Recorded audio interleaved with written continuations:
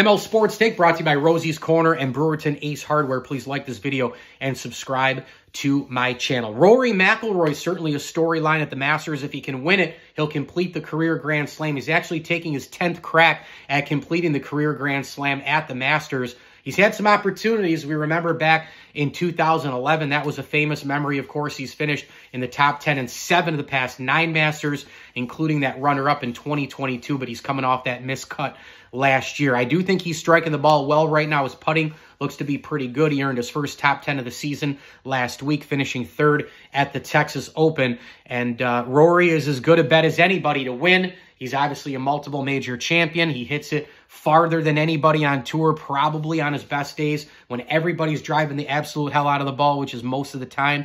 Uh, so we'll see what happens with Rory McIlroy. But certainly if he were to win this, it would be not only a great notch to get the Masters, you know, a notch on the belt and all the rest to win the Masters and um, win his first major in about a decade, but it would complete the career Grand Slam. So now we have another whole conversation with Rory in the pantheon of all-time golfers. ML Sports Take brought to you by Stanley Law Offices.